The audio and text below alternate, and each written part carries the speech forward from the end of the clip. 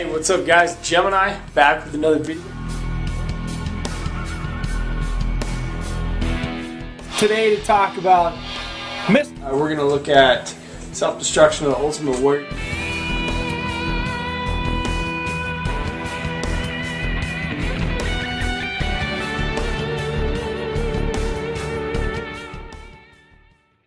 Hey, what's up guys? Gemini. And, uh, you know, for the longest time, I've been pretty harsh on this DVD, The History of the World Heavyweight Championship. Now, what I'm going to do, to be fair, is I'm going to go back and give this one a second look to see if this DVD can uh, redeem itself, because I remember it being a lying piece of crap. But I'm going to go back and watch it now and see if maybe I was a little harsh on it. So we're going to check it out.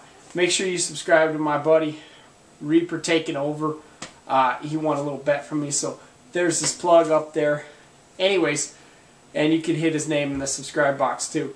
Uh, that's Blake, and he's a good dude. Uh, history of the World Heavyweight Championship. I'm going to give it a second look. We're going to find out. Maybe I was a little harsh on it, so let's go take a look. Okay, just so you guys uh, don't think I'm full of shit about actually putting this in and watching it. Going in the DVD player right now, just to show you guys. Okay, just so you guys can see that I'm not full of shit, it's right there on play.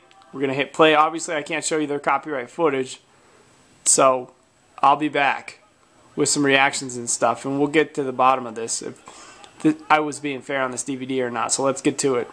Okay, it's uh, it's starting off pretty good with the uh, you know the story about how wrestling's the world's oldest sport. You know, showing the Romans and stuff doing the wrestling. So it's starting off pretty damn good. I, I do like this part right here with the Romans wrestling and how far it goes back because it's all true. Wrestling was the first sport in the world. That is true. Okay, very good so far. Enjoying the backstory. They've been discussing George Hackenschmidt, who became the world champion in 1905. They talked about his battles with Frank Gotch in 1908 at Chicago's Dexter Park. They talked about how wrestling and boxing was the uh, top draw back in the 21st century. NBA hadn't really got going yet, and uh, football was only getting crowds of three or four hundred.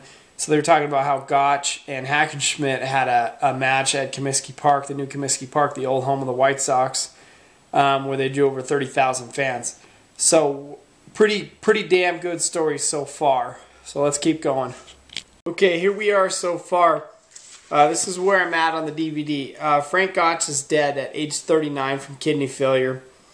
Uh, Ed Strangler Lewis was the man in the uh, 20s, but he's also quoted as being a, a very boring wrestler, um, including some interviews with Bob Geigel. And if you're an old NWA fan, he was the president of the NWA. Uh, they, they made a reference to Ed Strangler Lewis be, being very boring in wrestling a five hour match once. And they talked about how uh, they needed to add some theatrics so these wrestlers wouldn't get hurt and they would be able to earn a living for their family. And then we're at the part right now in 1948, the NWA was born, and they decided to give Lou Thesz the uh, the NWA World Heavyweight Championship belt. All right, let's carry on. I haven't seen anything yet to. It's been a while since I've seen this, so I haven't seen anything yet to hate this DVD. So far, the backstory's been excellent, so let's keep going. Okay, so we're progressing on the DVD pretty well. Um, they just talked about Lou Thesz holding the uh, title for seven years, including some interviews with Larry the Axe Hennig and Harley Race. And they talk about the boom of TV in the 50s and Whipper Billy Watson, Dick Hutton, uh, Pat O'Connor. They talked about the Nature Boy, Buddy Rogers. And now we're at the part, 1963, where Gene Kiniski uh, wrestled Lou. So we're going through the origins. We're going through the history of professional wrestling. So pretty detailed, intense story so far. So nothing to badmouth so far. Just watching a bunch of legends paving the way for the legends of today. So let's keep going. Okay, progressing along, uh, along nicely, we got Dory Funk Jr. won the belt in 1969, held the belt for four years. Harley Race became the champion in 1973 for his first title run. He still looked the same in 73 as he does today. Amazing. And uh, then Jack Brisco took the belt from Harley Race. Jack Brisco talks about how he got sick being the champion for uh, three years. He says he was just sick of it. And then we're at the part right now where Terry Funk just won the belt in December of 1975 in Miami. Okay, guys, we're getting there.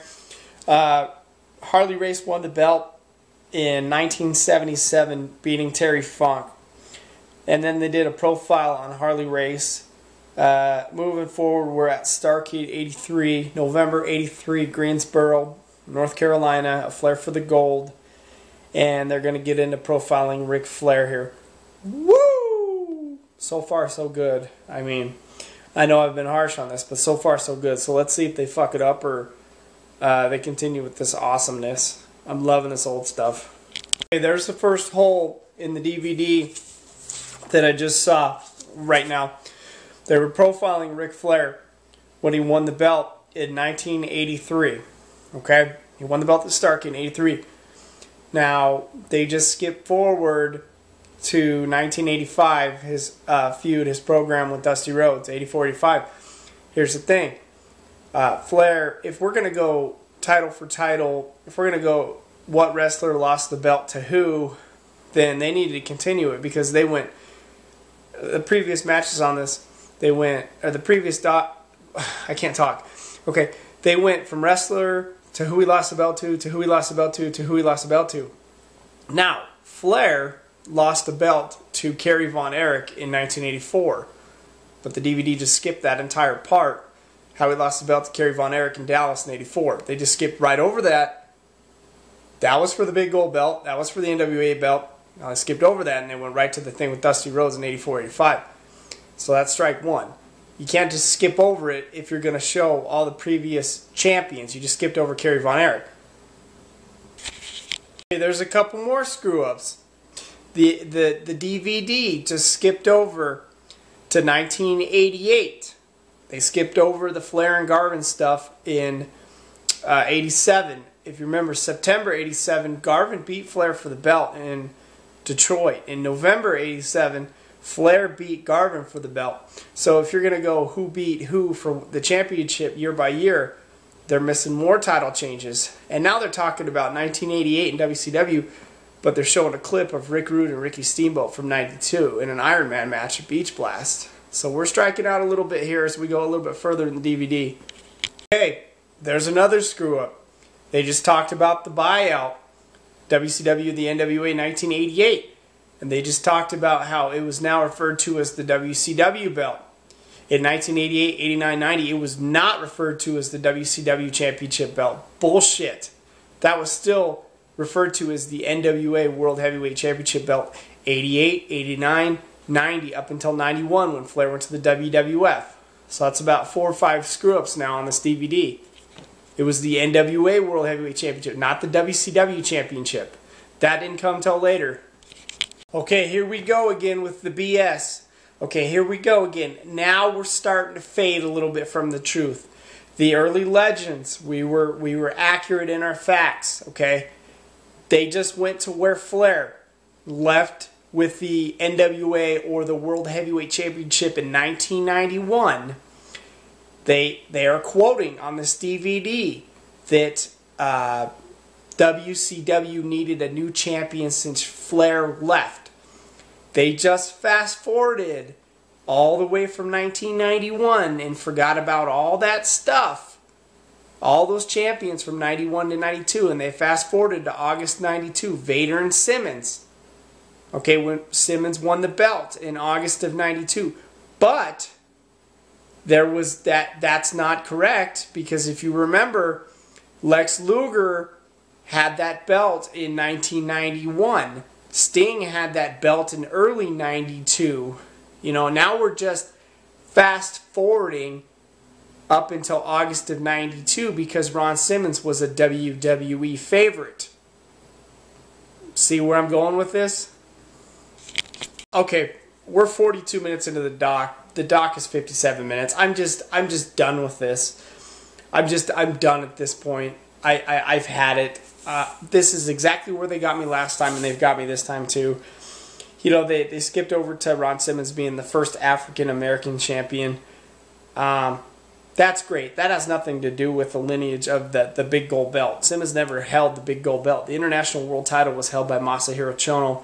That was the big gold belt in 92, and they didn't mention it. They skipped 1991 completely. And in 93, they broke away, and they just showed Hulk Hogan in 1993. Hulk Hogan was not the WCW champion in 93. He was just jobbing to Yokozuna, at the king of the ring, in 93. He didn't even start till 94 when he held the big gold belt. Okay, that's it. Let's wrap this. Okay, I told you guys, I, I knew it. I still hate this DVD. It still lies. It still skips around from WCW 91, 92, 93. It's, it's all BS. I still hate this DVD after all these years. It still is a lying piece of crap. Their story sucks. They changed the fact for the young the facts for the younger audience. It still sucks. So I gave it a second look. I was very fair about it. Still, it's a piece of crap in my eyes. Gemini, peace.